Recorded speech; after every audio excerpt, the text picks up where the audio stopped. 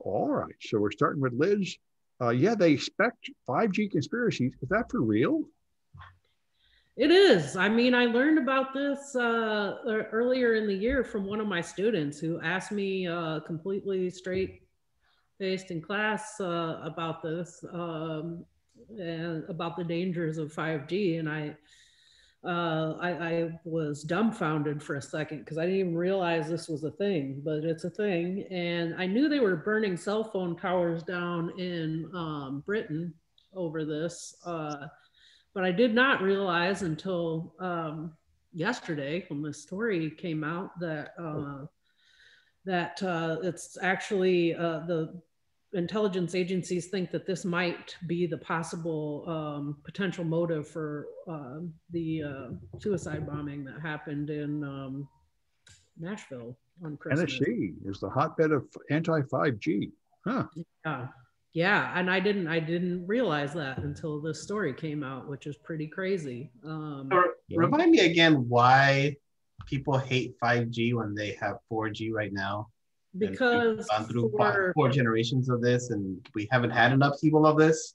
For some reason they think that somehow uh, the 5g can uh, make you susceptible to covid. They say they're the suppresses the, the immune system.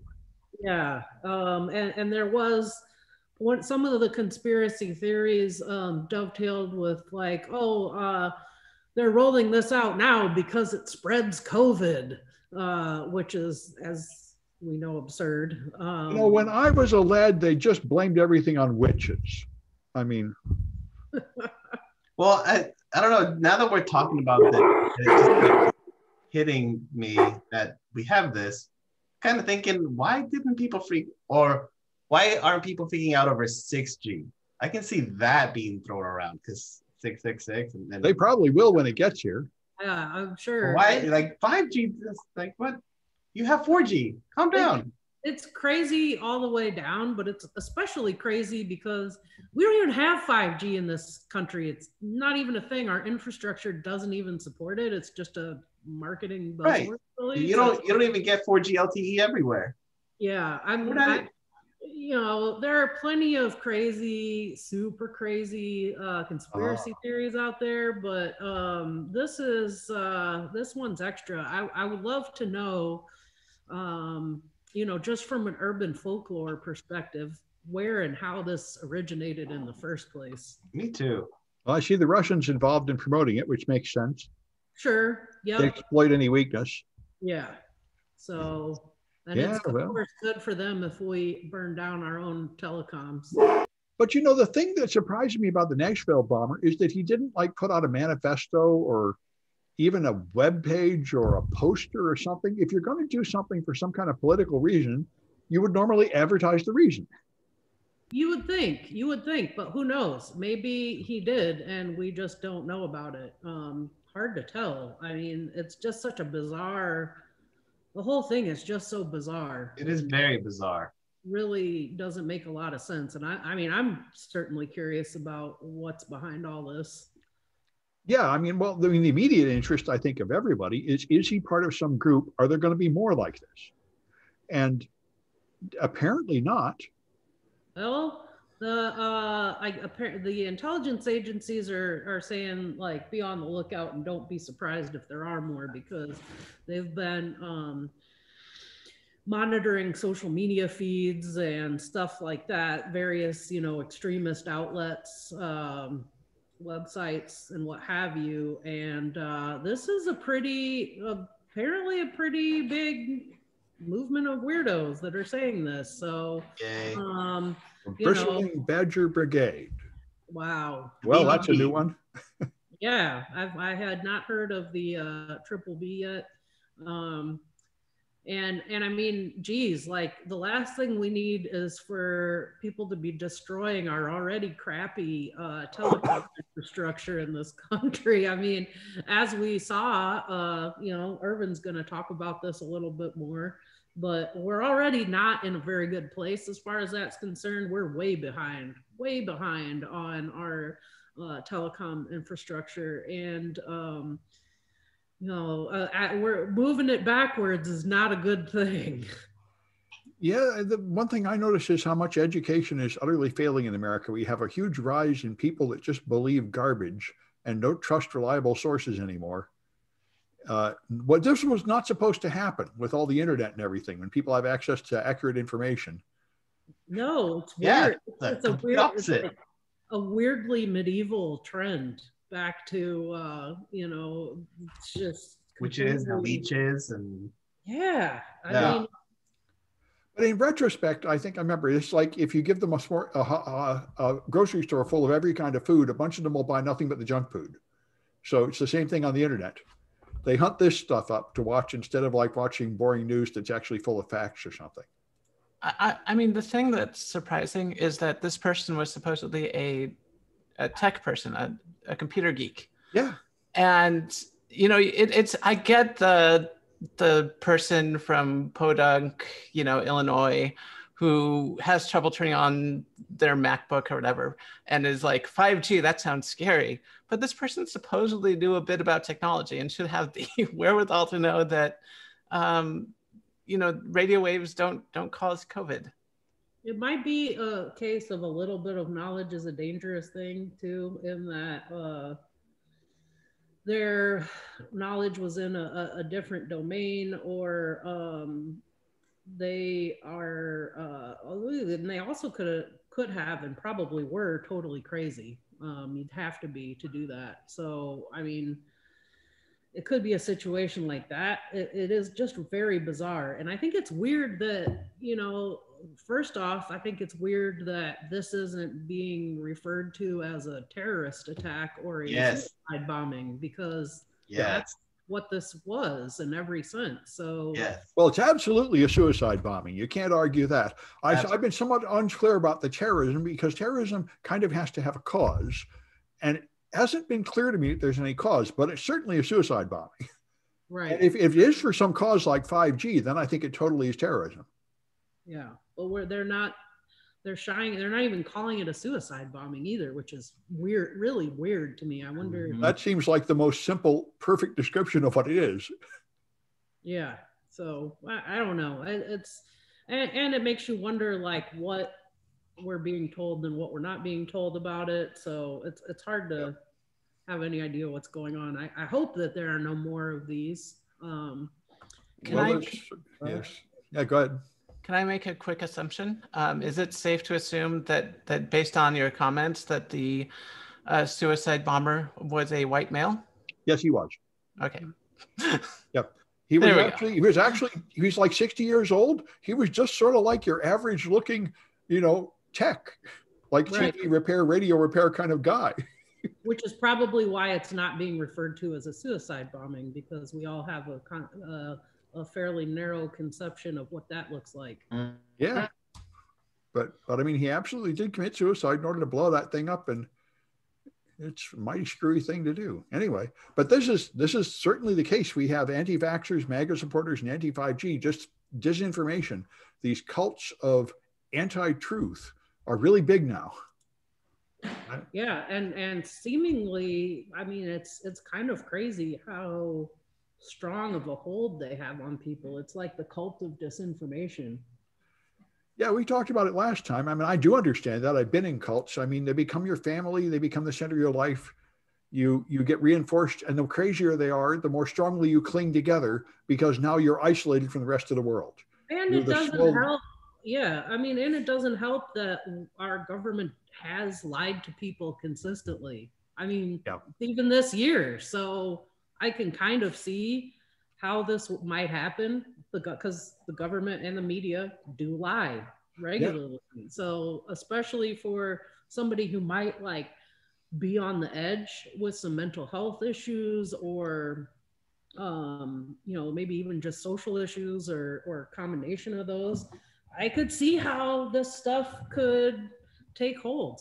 Yeah, that's the that's I think part of the fuel for the paranoid stuff. And another one I've heard a lot about is the black community is quite in general resistant to taking the the vaccine with very good reason because there's a long history of them doing medical experiments on black people by giving them fake medicine in America to where their their distrust of the medical system is high and it's not because they're crazy. There's a Yeah. real problem.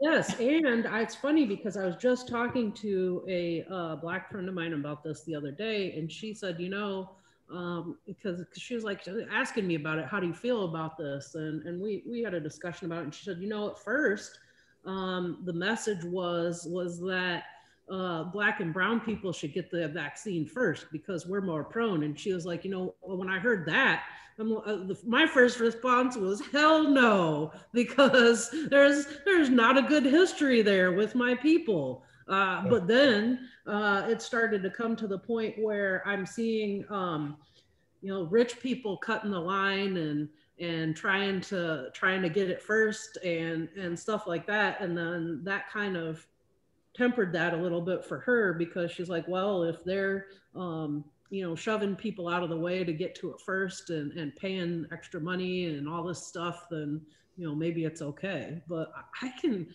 I can absolutely see why there would be resistance to it in the community, especially when there was messaging early on, like, hey, we should try this out on black and brown folks first.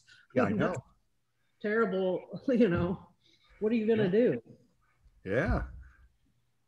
Now let's take a look at Irvin's one here, which is the, which uh, dovetails into Liston's Yeah. first. Yeah. Um, this map, I don't know if this map is up to date. Might not be anymore. Uh, but not too long ago, it was showing just how widespread across the nation that one attack did on us and why we really shouldn't be tearing down our infrastructure because yeah if one one hit in tennessee affected even san francisco and la and what's to say a second will bring down most of the nation is it because Nashville is like a central station or something? it is Yeah. yeah yeah oh there you go Yeah, it's like a nuclear bomb hit. This is like a, 9/11 was the same, right? The 9/11 tower was a huge hub of communication. mm-hmm yep yep so same um, yeah we really shouldn't be tearing down our infrastructure we're trying to uh, build it up and yeah anti 5g is not helping Well, you know, what my first thought, of course, when I saw that is maybe this will be followed by another attack from an enemy nation. I mean, that's the point of this. You make you create a vulnerability by doing this, but apparently it's just one lone crazy guy, not part of some group that's got a plan. although a nation, uh, you know, an enemy nation can now see this and go, oh, that's all we need to do. We don't need to do this massive attack. We don't have to, you know, plan these intricacy things like in World War II. We just hit a, a one of these central hubs, and that'll affect quite that'll affect the, the nation. Well, it will, but this is one issue about uh, cyber attacks. They're like air attacks. You cannot win territory. All you can do is weaken defenses temporarily, and then you have to actually invade with troops and take the land, uh, or Right. or they just fix it, and it doesn't really hurt them very much in the long run. Well, it's pretty crazy too that our, you know, a lot of this is 911 emergency services that are disrupted. And I mean, just from one uh, essentially like main node being taken out, uh, there was this far of ramifications. And, you know, this I would say is just another. I haven't heard much any of anyone talking about this yet, but to me, one of my first thoughts is this is another indicator why telecom monopolies are a really bad thing because you're not going to achieve any um, infrastructure redundancy or a strong infrastructure when you've got one or two companies running the whole show. Mhm. You know, I thought the whole point of the internet was that there were many routes to get from A to B. So if you blew up one place, it wouldn't shut down very much. Apparently, that's not true. it probably was at the beginning, and then just like telecom, the telecom company, they they just swooped up all the all the entry points, and and now we have a few. Yeah, well, it's uh, yeah, well, it's it's uh, interesting to know. A lot of surprising stuff. That's why you have to really test things because uh, the difference between theory and reality is often pretty large. So this was surprising. Um, someone ran a phishing campaign uh, hosted on a GitHub page, saying, you know, oh, if you sign up with with Facebook, you'll you'll get uh, this cell phone offer, free data. It'll be great. And a bunch of people just fell for it, put in their Facebook credentials, and I think at one point, I think the article says like 100 people a minute were throwing in their giving them their credentials, and Wow. they ended up getting um, uh, six six hundred fifteen thousand Facebook credentials off this one attack. Uh, it's ridiculous. Um, and of what, course, what do you do with those? Are they worth money somehow? they must be. I mean, if at the very least, you can probably do some credential stuffing. Even if Facebook itself isn't very lucrative, you can, you know, use it to get into their other accounts. Mhm. And yeah, yeah, it says yeah, over 100 entries per minute. Per minute, most Yeah. of which are coming from overseas. So this was not targeting the United States. This was mostly uh, Nepal, you know, the Philippines, Pakistan, those places. Um, but yeah, no, it, it, this was ridiculously successful. I have no idea how you get 100 people a minute. Uh, and you know, Facebook wants to be money with Libra. They yeah, aren't, they aren't yet, but if they were your bank, then I would understand this a little more. Yeah, no, they're not. It's, it's people just somebody wanted some Facebook creds, and just this phishing campaign just went went. Successful, scarily. Yeah, no, I've I've never seen a phishing campaign successful before. But okay, Yeah, yeah. Facebook uh, credentials must be worth some money. yeah, Yeah. Well, and then this I thought was wonderful. This woman, Rachel Thomas, is local from University of San Francisco, and I didn't know about her, but she is very interesting. Um, she teaches ethics, Welcome to lesson. and this is wonderful stuff. Um, she she broke her videos up into little chunks so you can see them, and so she starts with this stuff. You know, why do you care about ethics in technology? Just a few articles from this year, right? Um, all these crazy things have happened, and she's teaching like what you do. So you, when you plan something like a social network or a a algorithm to pick what YouTube video to show you next, you have to think about it. And here's this woman named Tanya Sweeney was a PhD at Harvard. And when she Googled her name, all the ads say, Has she been arrested? How about her criminal record and stuff? And she's never been arrested. And there's nobody else named Tanya Sweeney that ever got arrested. So she tried Googling other random names, and that doesn't happen unless your name looks black. For people with common black names, it just assumes you're trying to find a criminal record. For white people, they assume you're trying to do something harmless. And she said, Hey, this is messed up. And she points out there's just a lot of these things, like say Facebook's ad system, facial recognition. And uh, here's um, the head of IBM meeting with Hitler to help plan the computerizing of the death camps so they could organize killing people and keeping track of which ones they killed. And I, she didn't mention it, but I know IBM was also deeply involved in South Africa. They made the registration system that would give you all these identity cards that would sort what race you are, and then they'd have these. You, if you're a certain race, you're only allowed to go to certain regions of the country, and they can arrest you for being out of your zone.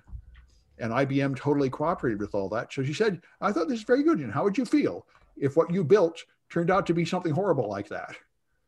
And she has like practical plans how to test things, sensible ideas what you can do. She says, "What you have to do is think about abuse, build a system where there is some way to appeal. If somebody says, "Hey," your system is doing something horrible, there ought to be some way of appealing that you think about when you design your system. So anyway, I was very interested. I think it's great stuff. I'm hoping we can get her as like guest speaker in our classes next semester or something. Because uh, as a lot of, I heard she has somebody commenting during this lecture and they're saying, you know, I thought ethics was like meaningless philosophy. It didn't really have any application. She said, well, I'm keeping it practical, how you really use it. And I said, that's what we need. You Mhm. know, it's not some philosophical thing. It's like, how do we actually accomplish ethics when we're designing a product?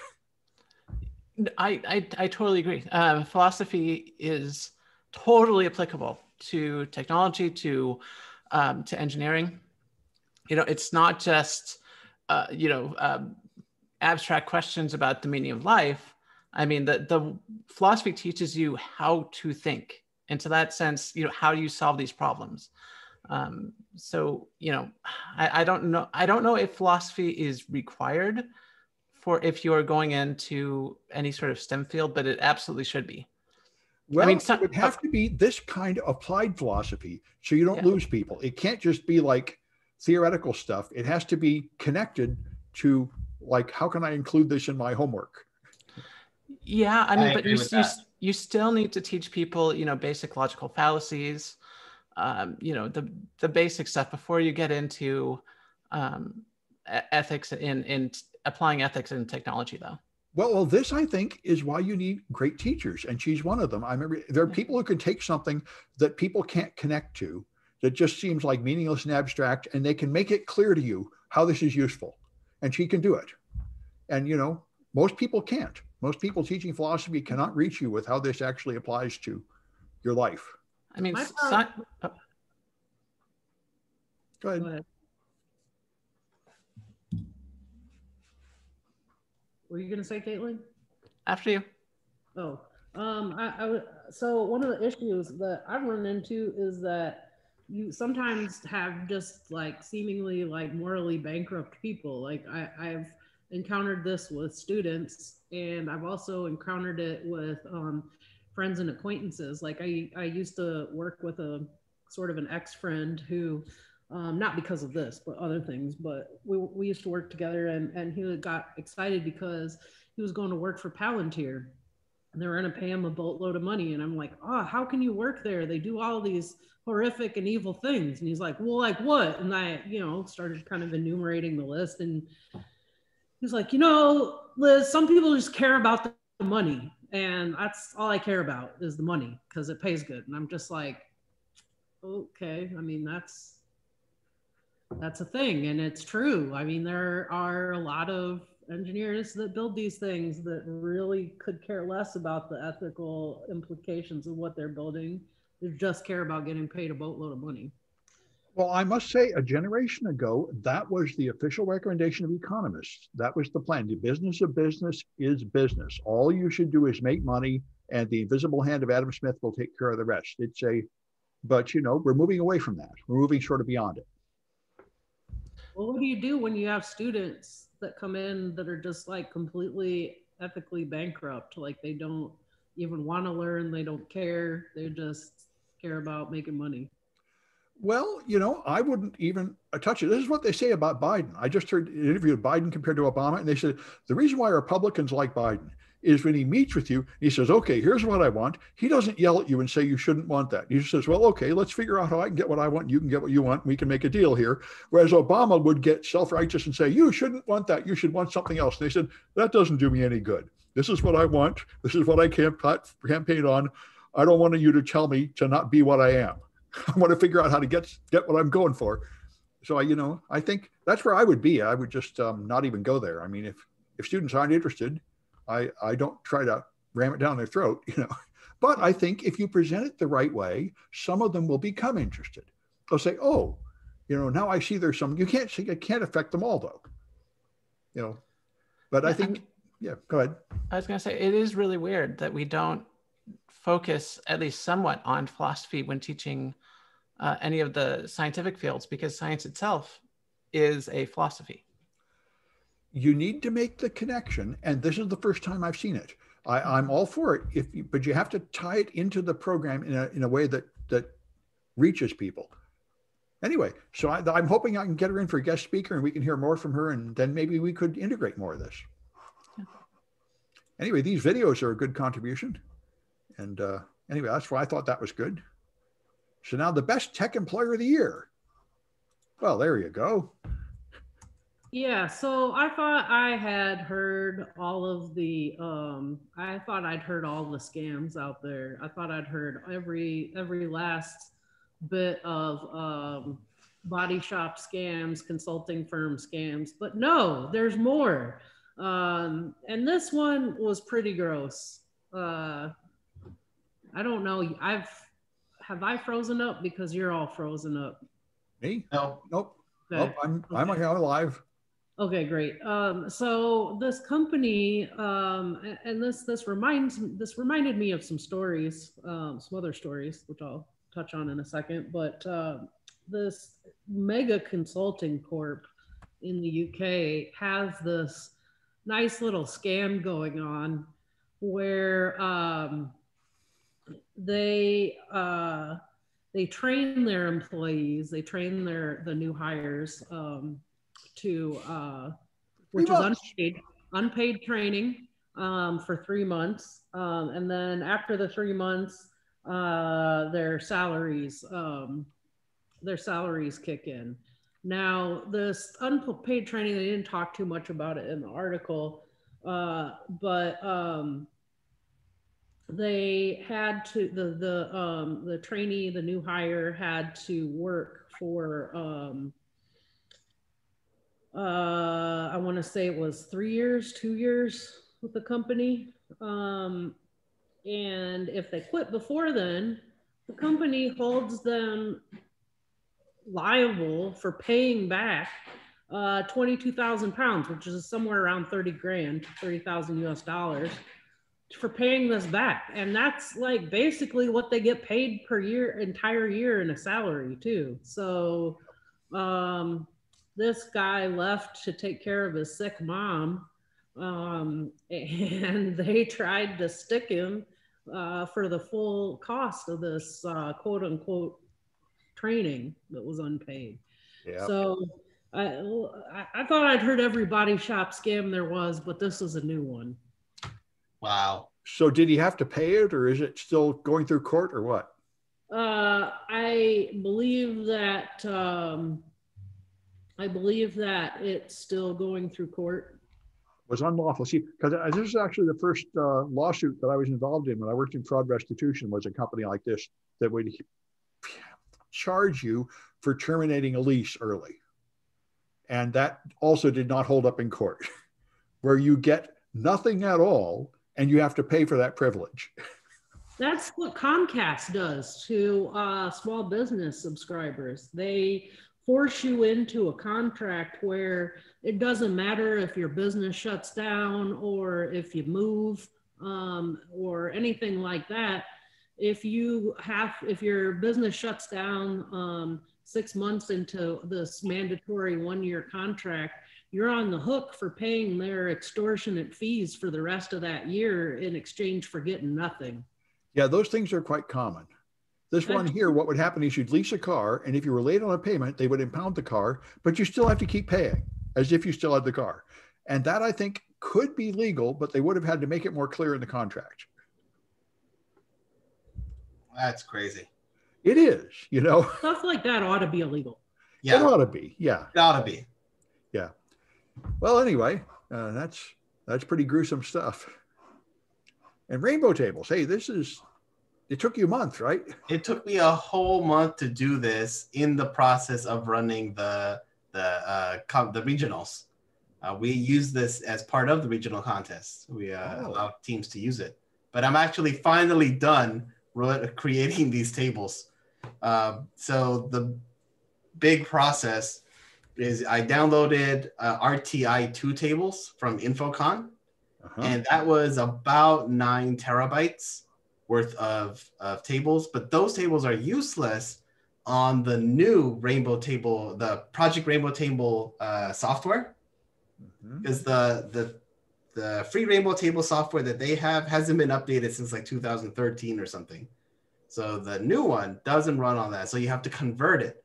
You have to first take that rti2 turn it into the the more common rt and that's that's where things grow like 250% and then from there you convert it into rtc so that it's more it's smaller and it's usable with the with the new software. In the end i got 11.3 terabytes. And what now i can run it. And what kind of processor have you got running this? oh i have uh, uh intel NUC being the the uh, virtual machine that's running this. So uh, all the all the tables i have on a nas that um, uh, synology nas Yeah. And you, you ran this one process for a month? and we- yeah yeah taking the tables converting them into rt reconverting them into rtc and getting rid of the old ones yeah it You took a month to get through the nine terabytes Well, you know, I would assume that if I started something that was going to take a month, it would crash after 24 hours and corrupt the disk and never finish. I would assume you'd have to break it up into little chunks at least. uh, i i broke it up by the by the four by lm ntlm md5 and sha one So, so one of these would take more than a week. yeah so the two big ones were the md5 and ntlm those were 3.6 terabytes the sha ones was 1.3 terabyte and the lm was uh, like 300 something gigs So, so now you can crack any of those hashes super fast, right? right So Right. now NTLM means you can crack Windows hashes, right? Yep.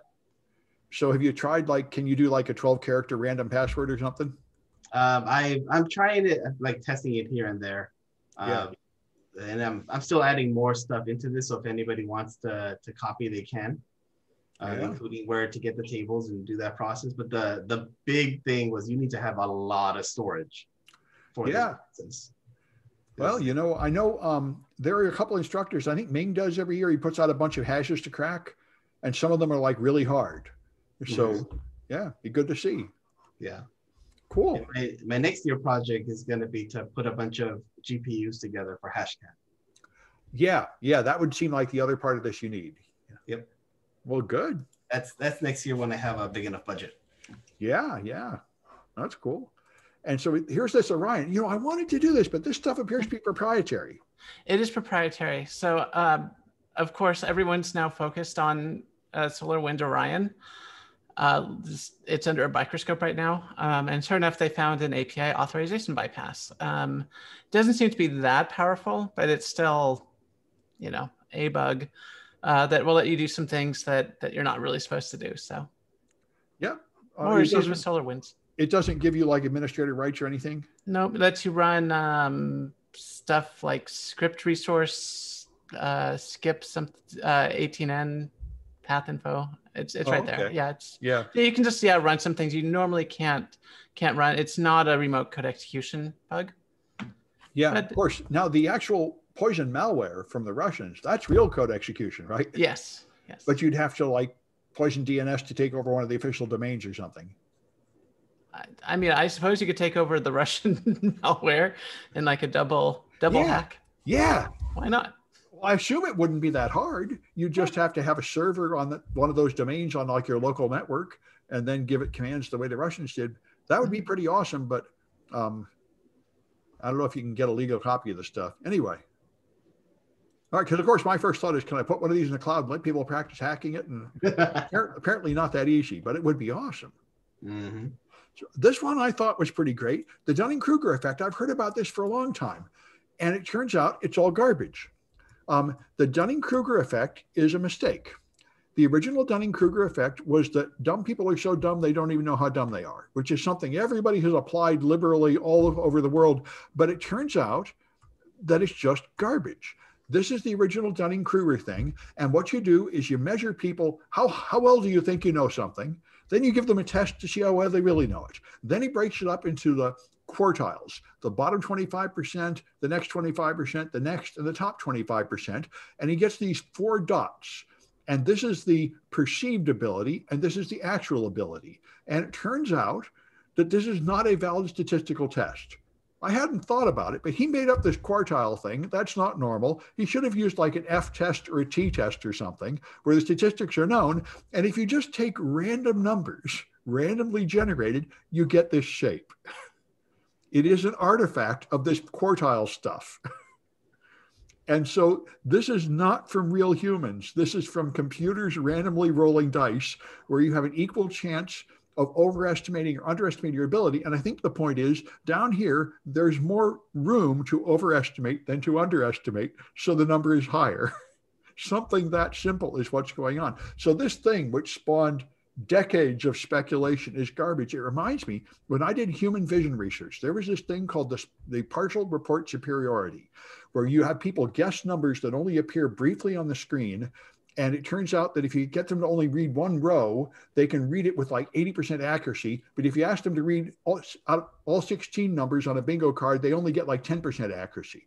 So they had these complicated models. And all it is, after like 40 years of psychological research, is the after image on your retina that you can still see for a second. so you have one second where the card is still visible in your eye to read it. And that's enough time to read four letters, but not more.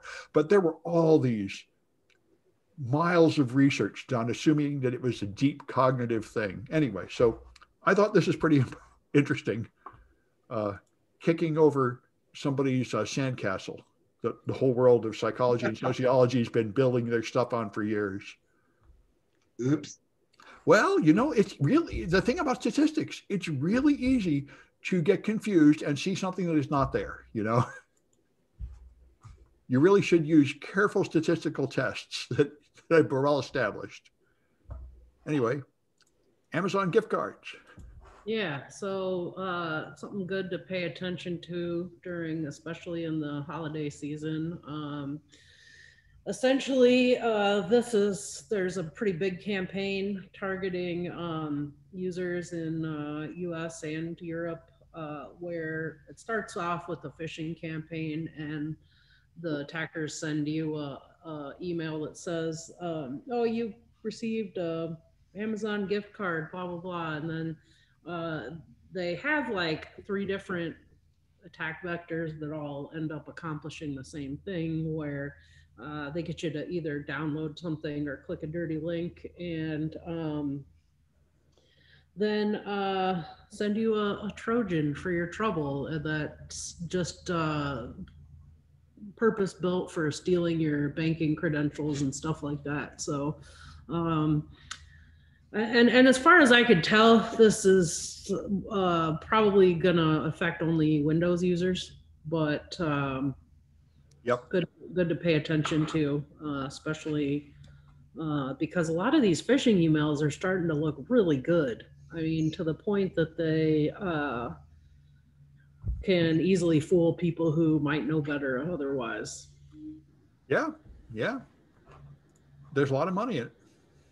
I've seen a lot of bad ones, but I've seen some really, really good phishing emails. Yeah. All right, and anti-ransomware. I, I hope these guys come up with something good. Me too. I thought there was already a anti-ransomware coalition, but I guess I was wrong. Uh, this number of companies coming together. I just like you. I hope that they come up with something good that we can all use, like best practices know how we always talk about what what are best practices that we can tell others to uh, for them to use. And i'm hoping that this group does come up with something that that is applicable everywhere. We need something simple like the OWASP top 10 or something. We need right. something we can just tell people do this. Right. Something that we can easily teach and easily articulate to yeah. the world. Yeah yeah, good. Well, I hope I hope they manage to come up with a simple countermeasure because it is ridiculous. The current situation, everybody getting hit with ransomware all the time. Mm-hmm. It's gotten to where you know I listen to security now, and he apologizes. I we're not going to talk about ransomware this week. Let it happen again. I know everyone's tired of hearing it, but everybody's getting hit again. we wouldn't get hit so often if people just stopped paying the damn ransomware people. This is why it's you. But and I've talked to guys that are consultants, and they say you always pay the ransom. Who are you kidding? The fact is, they hire you, they say we're in trouble, and the cheapest answer for the individual company is always to pay the ransom. So everybody does, and I know in the grand scheme of things, you wish they wouldn't. But I remember this is like when when people kidnap you in like Mexico and stuff, and they hold you hostage people pay the ransom to get their family member back. It's the same thing. You might say, no, no, no, don't pay the ransom. But in each individual case, they say, are you out of your mind? I'm paying the ransom. it's a problem, the tragedy of the commons, you know, the individual good is opposed to the global good. There's your Anyway. Anyway. Anyway, yeah. Speaking of global good, uh, let's yeah. talk about bicycles and bicycling for a second. Yeah. Um, so I was about to so I, am not. I was. I am about to move, um, and I was thinking uh, about ways to get around outside the city, and I thought, well, maybe a bicycle, but you know, we really don't have the infrastructure, you know, for to make biking safe anywhere.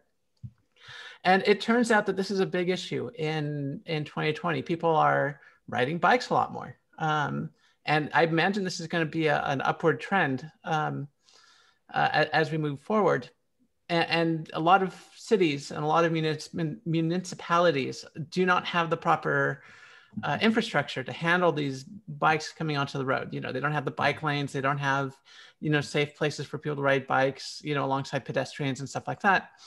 And it, it's becoming a really big issue now. Um, and a lot of this has to do with the fact that these car companies, for a long time, were basically dictating to uh, to cities, you know, how to how to build their infrastructure.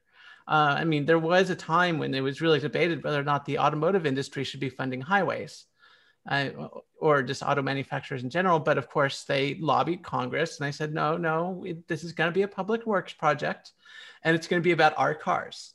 you know, not about, you know, serving the public.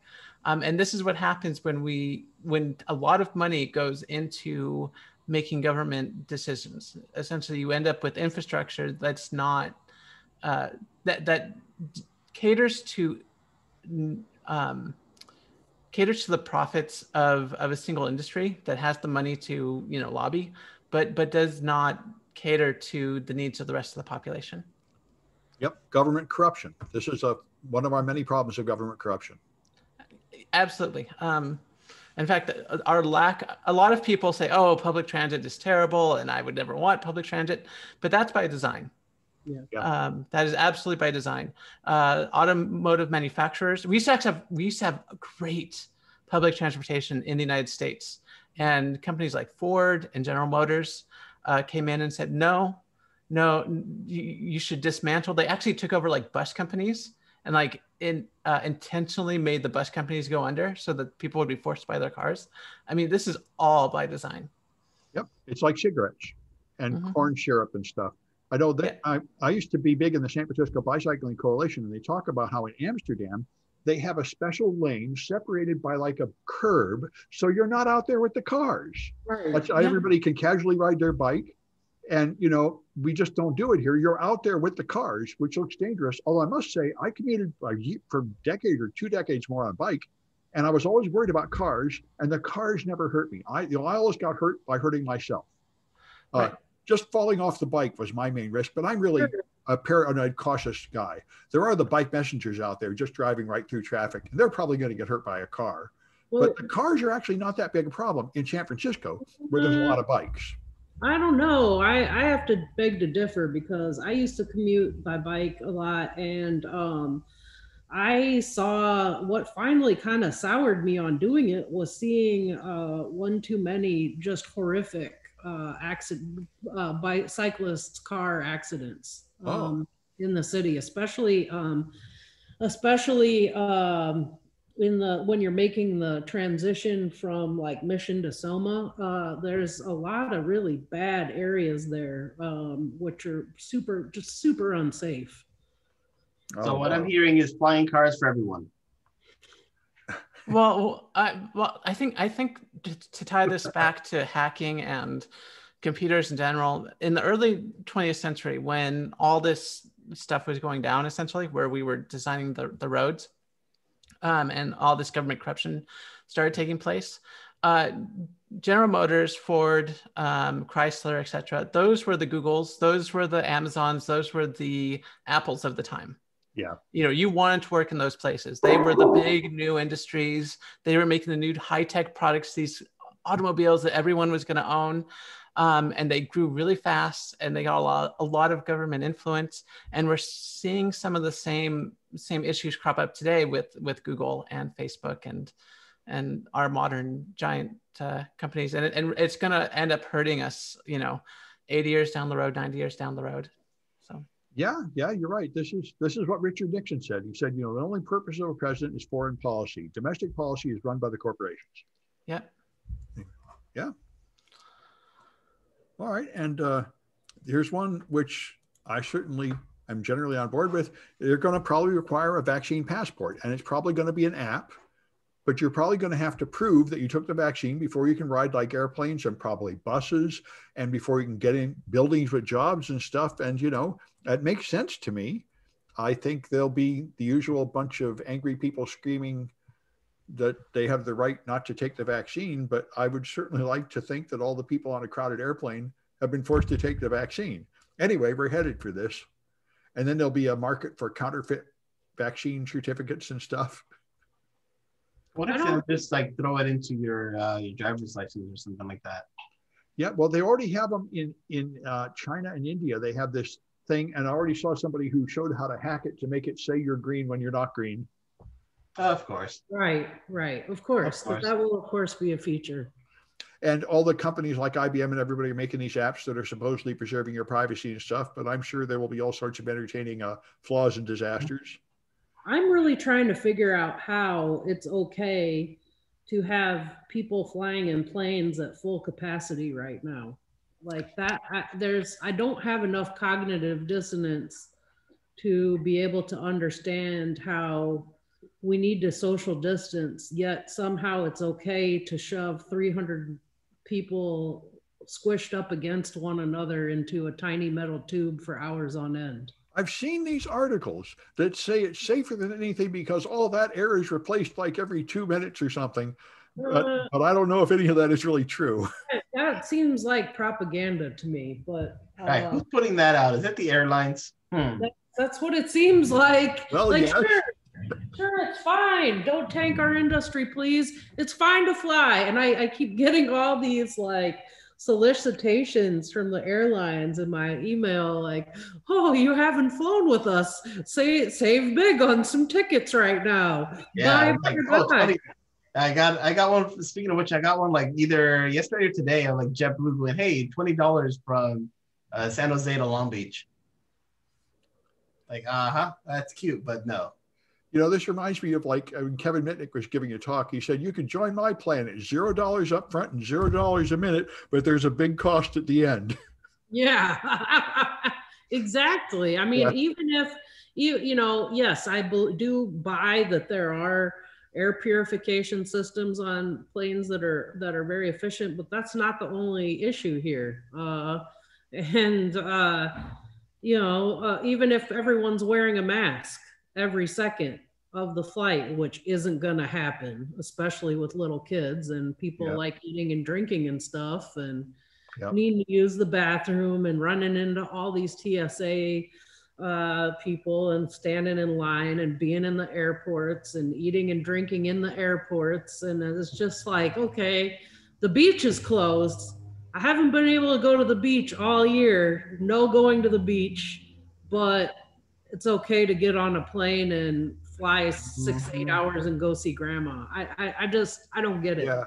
Yeah. Mm. Well, you know, that's why I, I'm not doing any of that until I have the vaccine, you know? And even then, it's like uh, uh, once we have the vaccine, we yet still don't know whether we can be carriers or not. Well, I think we'll know by the time we get it. We're not going to get the vaccine until June. And by then they will know from all these early adopters the details. But we'll see what happens. Right now, it looks like they're not going to successfully roll out the vaccine. Maybe we're not going to get it till November. So we'll No see. surprise there. Anyway, I'm uh we're all going to be hiding for a good part of the next year anyway, I guess. So the thing to do is hack more satellites and otherwise stay out of trouble. All right, any more comments? All right, I'm going to stop this recording.